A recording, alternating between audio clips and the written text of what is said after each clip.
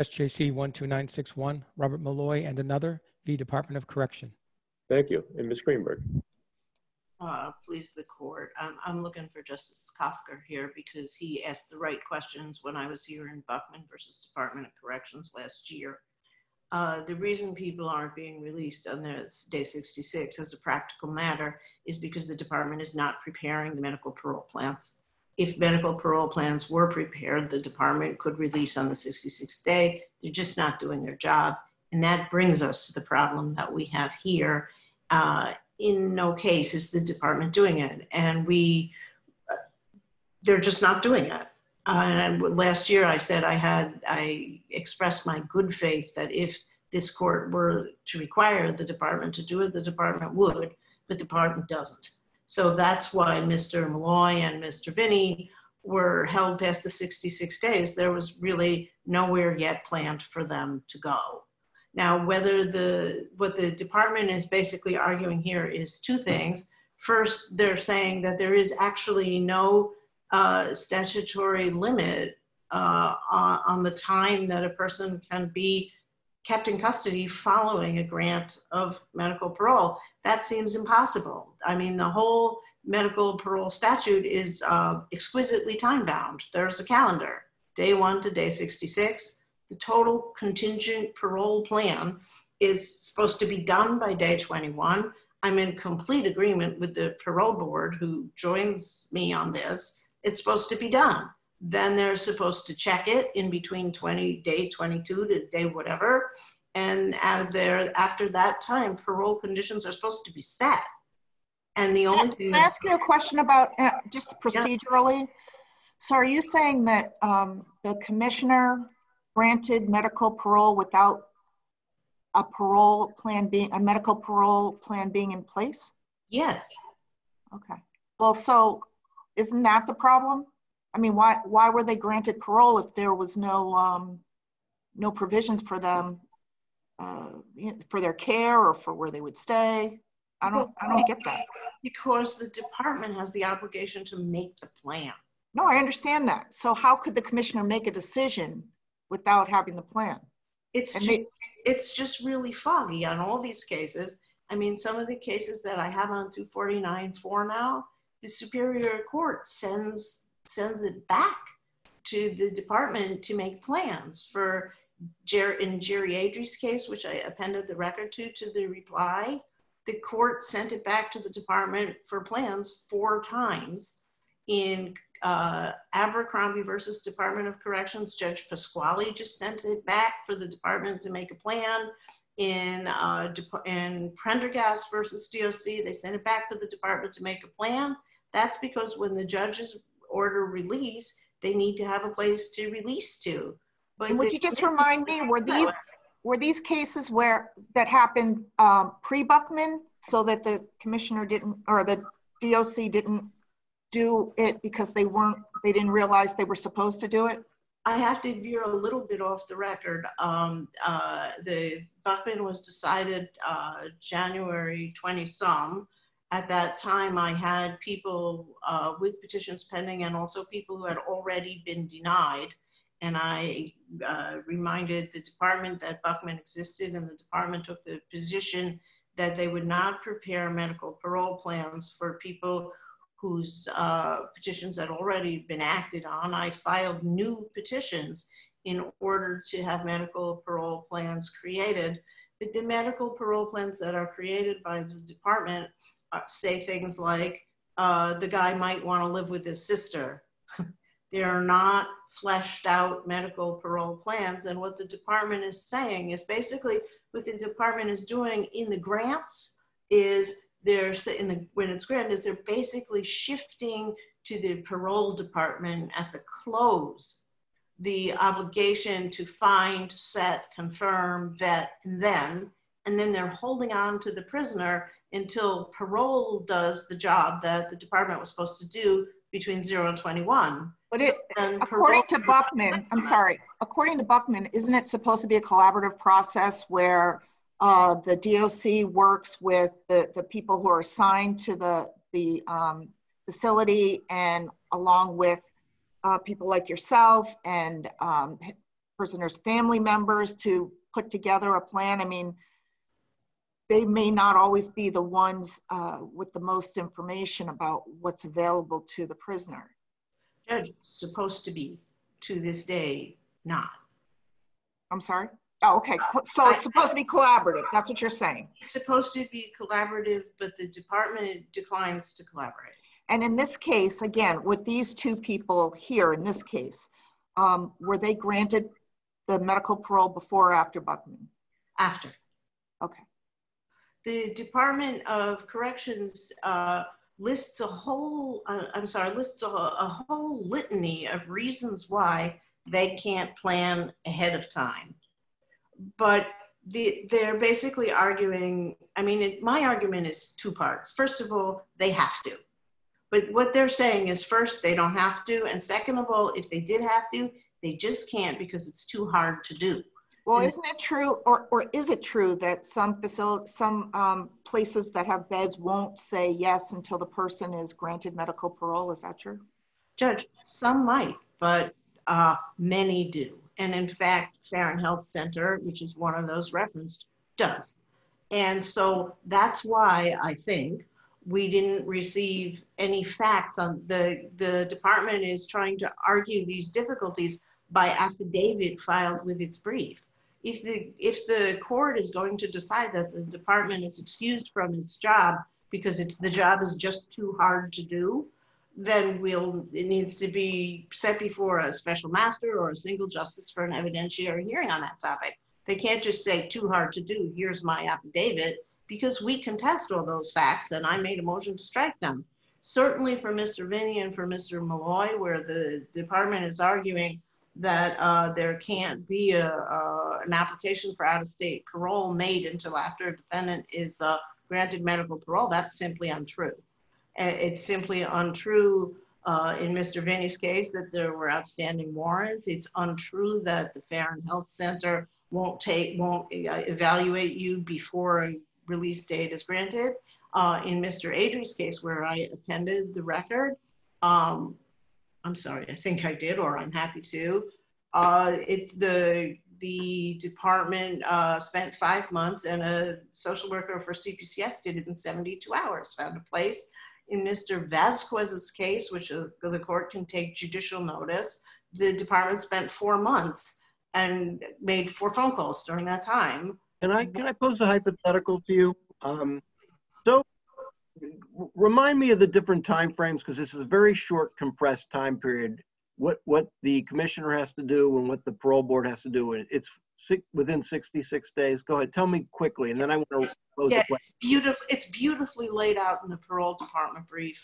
Uh, the, the department makes a plan between zero and day 21, and they must make a plan, and you've ordered them to do it. It's a statute, it's common law, and what a plan is is laid out, and it includes a home plan, and includes, and they have to make really contingent plans because I know nobody knows where they're going. So they could make three plans so that the guy can be ready on day 66. Then parole takes over. So on day Parole six, checks the plan and sets the conditions. So everything is ready to drop on day 66. okay, but the world doesn't, uh, I, I mean, I'm familiar with the facts of these two because I was a single justice and it, Right. it was complicated. Um, but let, let me just talk you through a second. So the critical factors are we need this person to have a safe place to go. And because these are deathly ill people, they need a place where they're going to get appropriate medical treatment and a place to stay, right? Right. So they need health care. Mass Health needs to do what it needs to do, right? Right. Mass Health needs to do something, and somebody needs to accept this person, right? What happens if, what happens if everyone does the best they possibly can and those two things aren't in place? Do, do we order them home? what, what, what do we do? Because we're concerned. I understand he- he's been found no longer dangerous, no longer a safety issue, but he's a danger to himself if he's not properly cared for and protected. So if things don't work out, what do we do? Do we leave him with you? Um, Let me give you a We- variety of answers. well, but but I'd like you to accept the hypothetical that sometimes we do the best we can and we don't succeed. Okay. Um, So what's gonna happen on day 66 if that happens?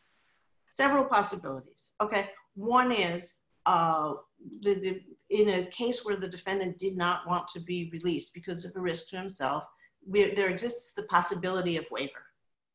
Second, uh, as the, in the brief filed by PLS on this question, the state hospital could take somebody. They're obligated to under the statute. It's a great brief by PLS. So that's, a- that's an option for us. So if, again, we do the best we can and we don't succeed, we can just order the person to the state hospital. Yes, in the Uh, interim, it that wouldn't release, I mean, what the department is trying to do here basically is not do its job. Because the department could set up contingency plans, just like you would, a person would for their father.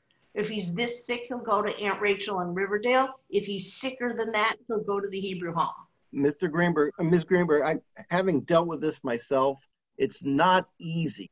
Um, that. But I do you- want to you- say that you- last year, last year, department argued, I mean, this is what's called in British media, reverse ferret arguing. The department argued last year that this was so easy that the blind and deaf could do it without the ability to make, collect phone calls. It's not that hard. And when you do contingent planning, that's what I'm trying to express, it's less hard. So that where the department has passed regulations, which are entirely ultra vires, saying that the department can just wait as long as they want to while parole gets around to applying for out of state parole. The default position is custody. That's, that's not doing their job. The default position is a plan in Massachusetts while waiting for medical for out of state parole. The default plan is not he's safe, he, you know, he's fine, he's qualified, but we're just going to keep him in prison an extra month and a half because we don't want to make a four week plan and a three month plan. They have to make two plans. That's what you do for your dad, and it's what they should be doing for the prisoners two plans, maybe even three plans. Because what we're seeing is the department is applying to places one at a time. We don't do that for college.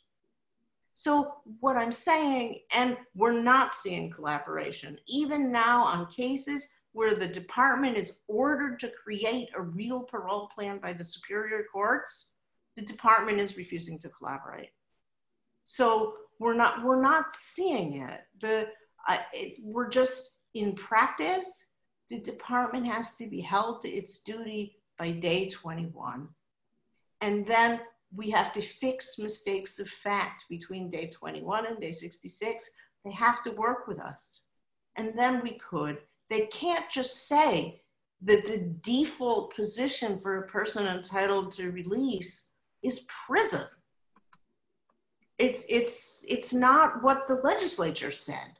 The legislature said get to work and find them somebody and I'm going to echo back again. It's tremendously expensive. It's $300,000 for a very sick prisoner to be maintained at the Department of Corrections. There's no private paying nursing home that costs that. They could have a contingent release to first available mass health rest home, and the the we would the the public fisc.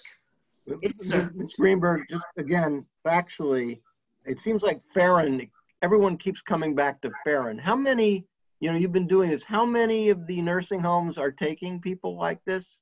Um, because it seems like we we don't have a unlimited number of options. We have very few of these places that are willing to take sex offenders and first degree murderers. it's, it's not correct. This is Okay, but what what is your based on the record?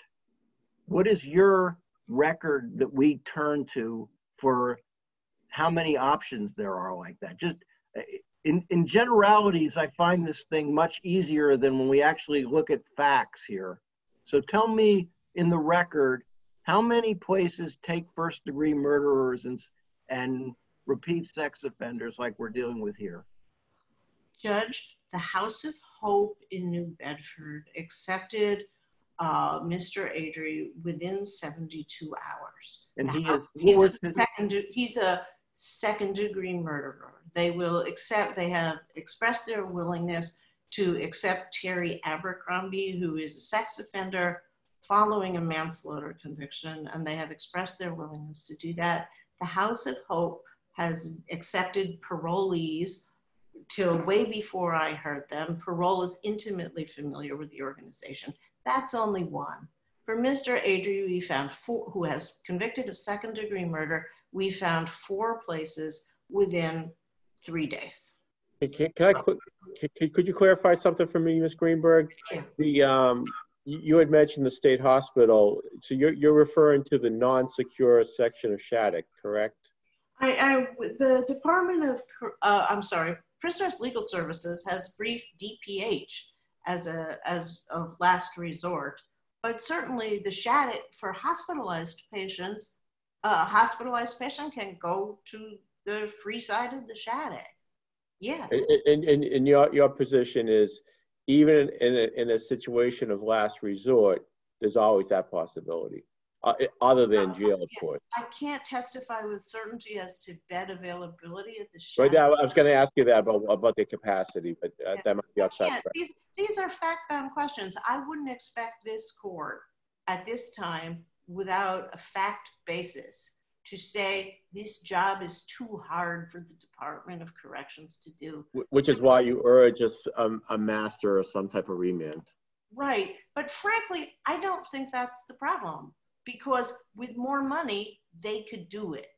What- Are you- are you- is- Go ahead. I'm Are sorry. you also asking us to rule that 66 days is 66 days, that they Yes. are out? Um, Yes. Even though we have all this factual uncertainty out there, 66 days means 66 days and they go no matter what. That's your I- position, right? absent a waiver because they can always go to a DPH facility under the statute uh, briefed by the by PLS. There is nobody with nowhere to go. They can go to DPH. The statute provides for that when a person is sick. That's a in, I'm sorry for not immediately coming to the number. Please look at the PLS brief. Or they can go, they can, if they were taken out in, in a hospitalized person and wheeled to the Brigham, the Brigham would be obliged to accept them and then they could die free at the Brigham. All they need is outpatient men's health. And they would be, they could just trundle them over. The Brigham would be obliged to take them and they could, they don't, and the Commonwealth would not be obligated to pay for four armed guards for a guy. I'm confused, I'm confused by that. They, they're, they're gonna take them in emer, to the emergency room at Brigham um, and say, here, he's your problem? Is that, is that really a solution? That, that, is that really what you want to have happen? That we're gonna drop them at the teaching hospitals, um, just at their front door and put them in the emergency room? That, that, that can't be what Judge, I'm not suggesting that's optimum. I'm suggesting that the department do its job, do its job as the statute requires them to do and from which the court can't excuse them on the argument that they're finding it a little tricky. They have $800,000 in their budget for reentry planning. Every hospital in Massachusetts does reentry planning. Every nursing home does reentry planning, and somehow they manage it. The only people who can't manage reentry planning is the Department of Corrections, and that's because they don't want to. Thank you, Ms. Greenberg. Any further questions? Right, um, thank you, Ms. Ga, Mr. Gaskell. Thank you, Your Honor, Your Honors, uh, and good morning. I'm here with uh, Darcy Curry, who is my co-counsel on this, and I just wanted to take a moment to thank her uh, for all her efforts in the brief and in uh, helping me prepare for this oral argument. Um, What we ha- have here, just as we had before, are are two distinct questions, uh, irrespective of any individual inmate. Um, And they're not about the extent of the commissioner's discretion. They're, and they're not about who is eligible for medical parole. They're, at, they're about what happens after that becomes uh, a certainty, after the commissioner has agreed that this person is entitled to, to medical parole, is eligible for medical parole. Um, and in answering the first question, I would say that the statute is silent as to who is required to find the plan or find the uh, suitable home placement um, and silent as to the timing of such efforts.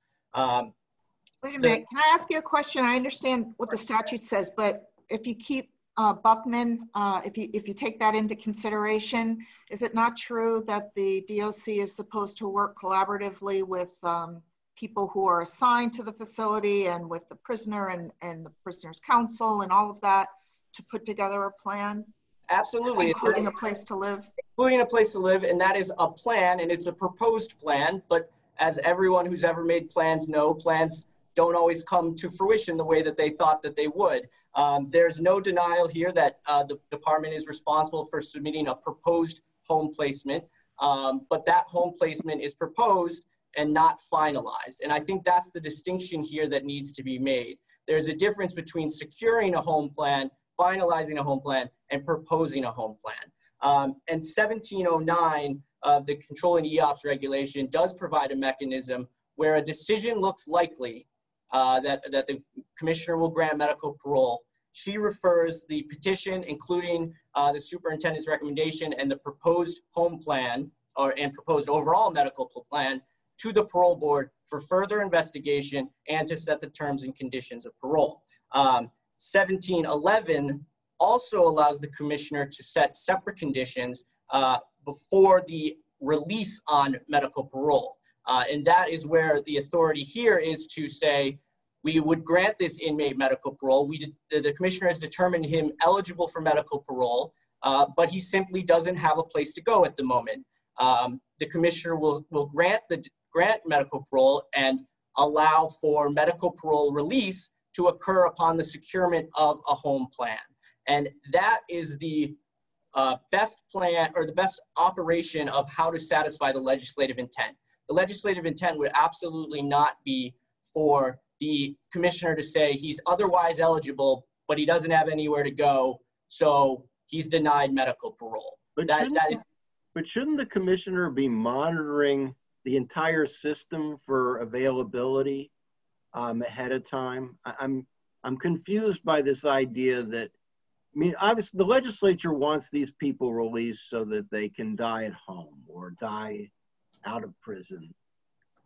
It, it's the, it doesn't seem to make sense to me that we're waiting to the tail end of this when it's a system-wide problem. I mean, just dealing with Ruth, Judge Mrs. Greenberg's clients, we got there's a flow of them continuously going through the system. Shouldn't there be continuous monitoring of openings out there so when this actually happens, we okay, this is a bed that will accept sex offenders. This is a bed that will accept murderers so that we don't start over on day 59.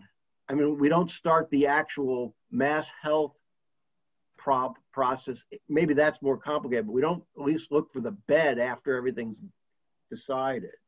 No, absolutely, Your Honor. And, and it's not that we don't look for the bed, um, but as reported in our brief and from information received um, from a, a, majority of facilities will not even begin to consider whether somebody was uh, uh, acceptable for the, that bed that you just discussed before there has been a grant of medical parole. So it's a chicken and the egg situation. Why, why, why is that? What, why isn't why isn't it a criteria based decision whether someone oh i mean they don't have to i mean is it an in, is it a necessarily individualized decision and that's why it's not a criteria based decision. This is a person who needs intensive care and is a sex offender or this is a person who is a murderer and needs 24 hour monitoring. I'm, I'm just confused I, I, I, think it's both. It's both a criteria as we have had facilities report um, certain classes of former inmates of, for based on certain convic- convictions um, will not be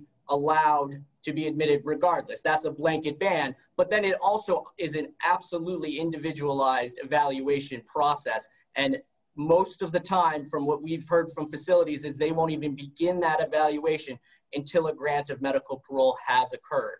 Um, so again, we could propose the Farren Center, and the Farren Center is where a number uh, of inmates have gone, but it's a proposal, and the Farren Center will only start considering after a grant of medical parole. And I, I just like to speak to your earlier question. It's it's not that we're waiting until the last, you know, day 59, day 60. You know, the the process does the regulation does allow for when uh, or does require the commissioner to transmit uh, the entirety of the petition, including any proposed home plans, to the parole board within 30 days of receipt from the superintendent's recommendation.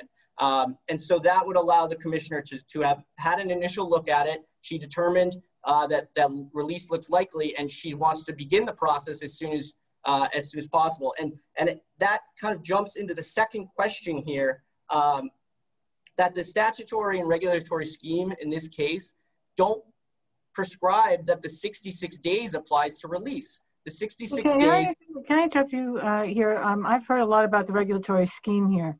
Um, and I would like to know, because I'm a little confused about this. Was the regulatory scheme one that was in place at the time of Buckman? Have we ever ruled on this regulatory scheme? Is this regulatory scheme that you're relying upon something that we are uh, to review in the context of this uh, litigation? Or uh, because I hear um, uh, Ms. Greenberg referring to this as ultra vires uh, uh, regulation.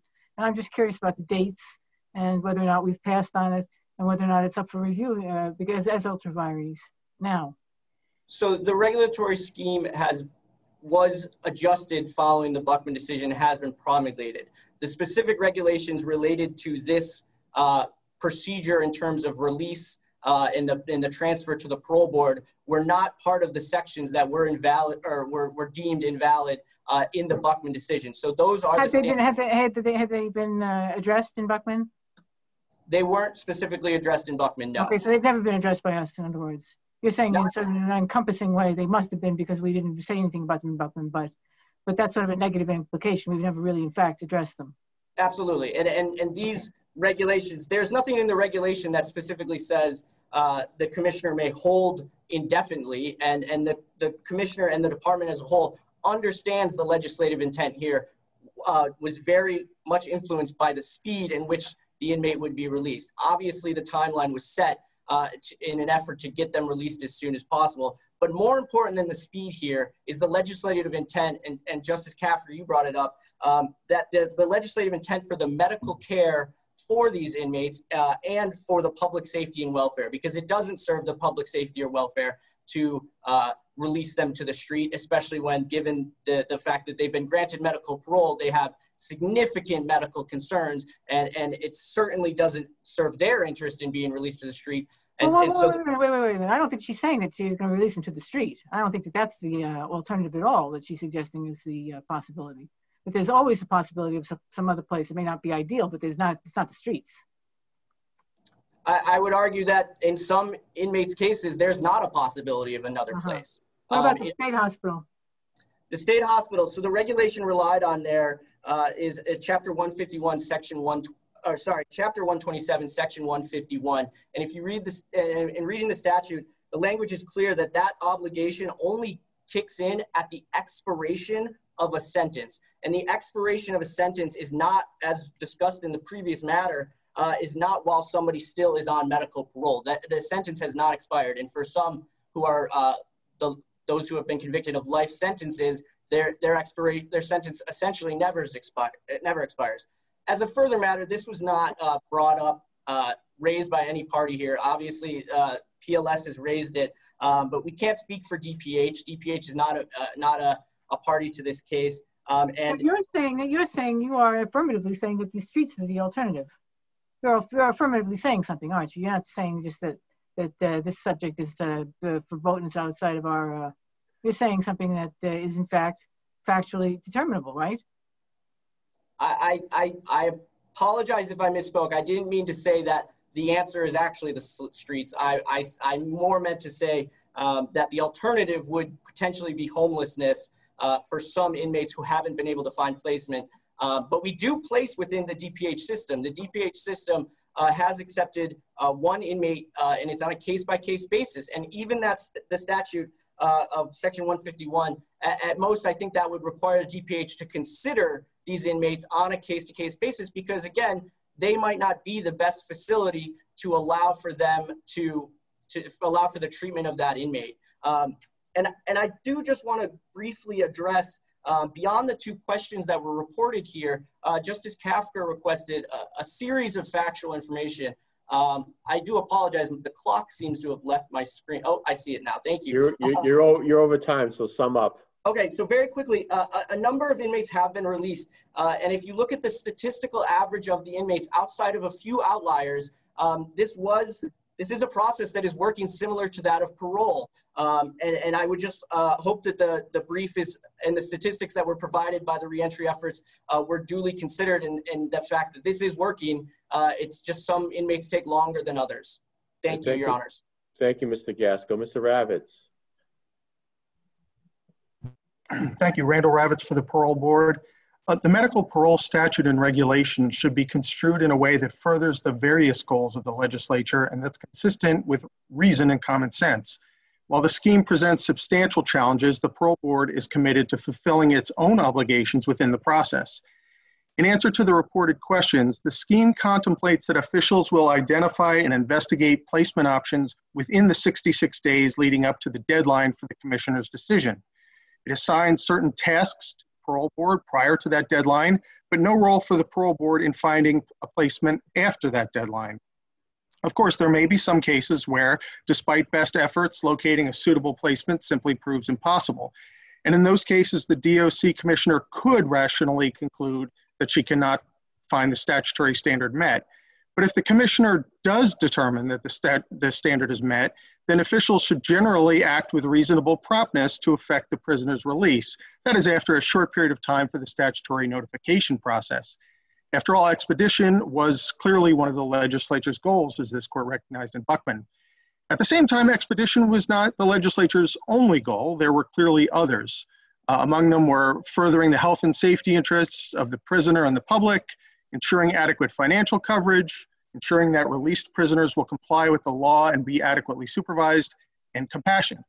And in circumstances where expedition would not further the legislature's goals, and may even be in derogation of certain goals, a reasonable pro- postponement of release should not be entirely foreclosed.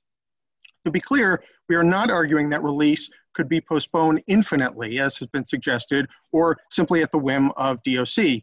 We are largely just encouraging the court not to adopt a rule providing that DOC must release someone immediately in every case, even if it would be in derogation of the legislature's goals. So I uh, can entertain any uh, questions from the court. And if, if there are none, then we will rest on our brief. I think Justice Kafker has a question. He's unmuted now. And I'm unmuting too, so go ahead. I'm, I'm trying, and that sounds great in the abstract, what you just said. Um, I'm just trying to understand though how, what it means. Um, and what, so what, what potential justifications would there be for going beyond the 66 days? That the placement hasn't been identified, um, that it's not a good placement? I'm just trying to get a sense of that. Mhm. Right. Let's say the, the 66 day deadline is approaching Right. and we just have no idea, or I should say DOC just has no idea where this person is going to go. Um, DOC, the commissioner would certainly be within its discretion, uh, exercising its discretion appropriately to deny release um, if the commissioner can't reasonably find the statutory standard to be met. But let's say we're approaching the 66 day deadline and everything seems to be in place. We're just waiting on one little um, detail to be um, dealt with. We're waiting on, let's say, uh, a let's- form let's- let's-. Let's Yes. say that detail is that the best place is the Farren Center, but they want to do an individualized determination and they're not sure they're going to have a bed. They may have a bed.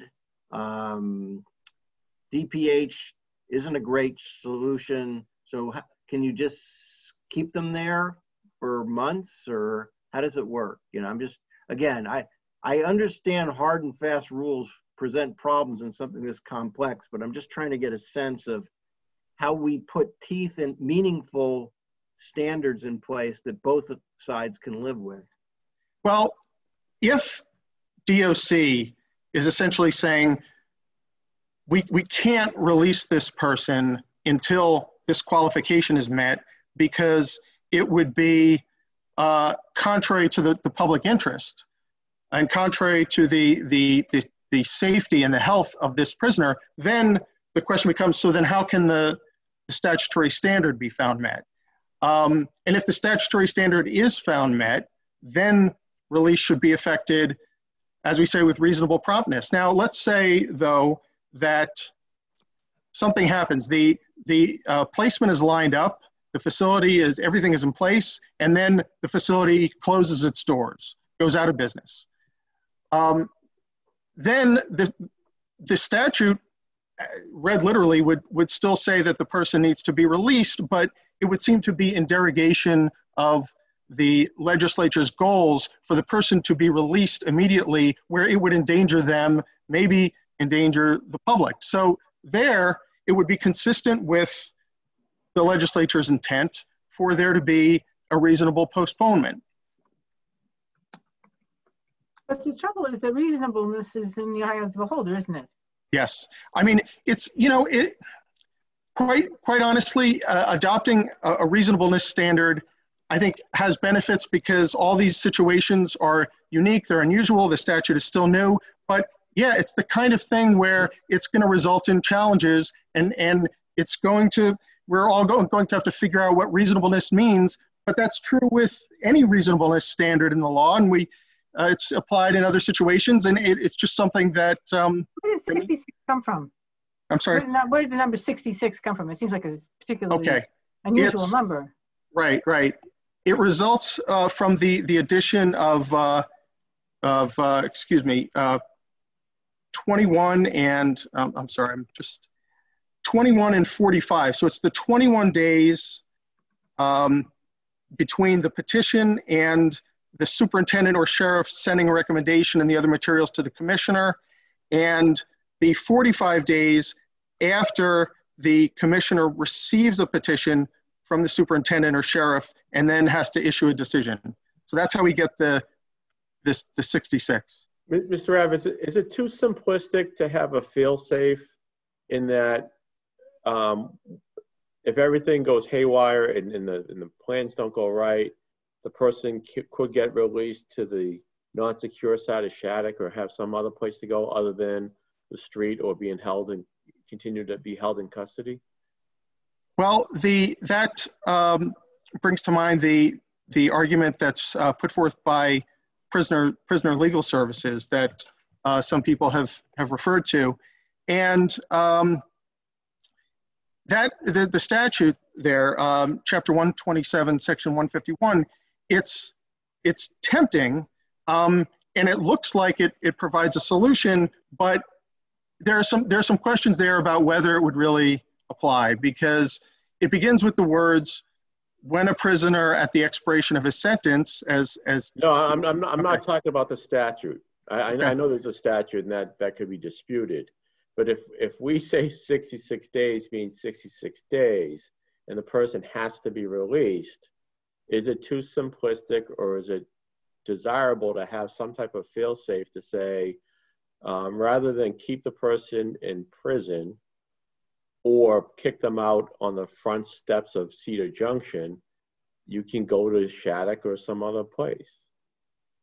that that would that would be a solution and that would be seem to be consistent with what the legislature intended As opposed to having it be the uh, continuation of custody as the default position. right How many beds are at Shattuck? Um, how many beds are we talking about? I'm sorry i don't know the answer to that Uh, okay, because, you know, the idea that there's a fail-safe. Uh, I, I, I, right, and that's that's why I asked if it was too simplistic, and perhaps counsel could uh, supplement the record with this information.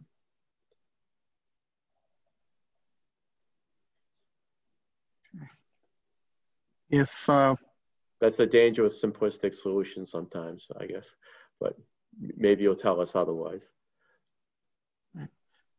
Okay if, if there are no other questions uh, from the court Thank you, Mr. Ravitz. thank you